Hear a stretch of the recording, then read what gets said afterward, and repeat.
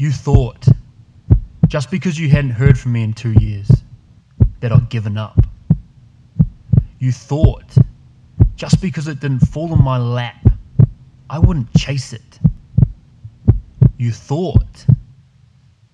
Wrong.